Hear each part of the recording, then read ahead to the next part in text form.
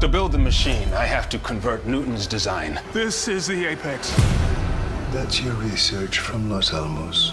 The one thing I could never solve is pretty much your only hope. I'm not sure who you think you work for, but from now on, you need to understand it's me.